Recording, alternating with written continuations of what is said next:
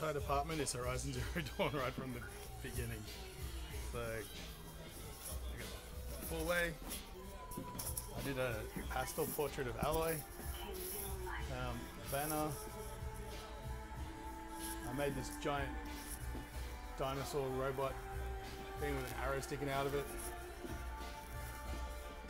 That. I've got a TV over here running uh, trailers. And I made a life-size drawing of Aloy as well just there. And of course we got the end cap over here as well. You pretty much can't miss it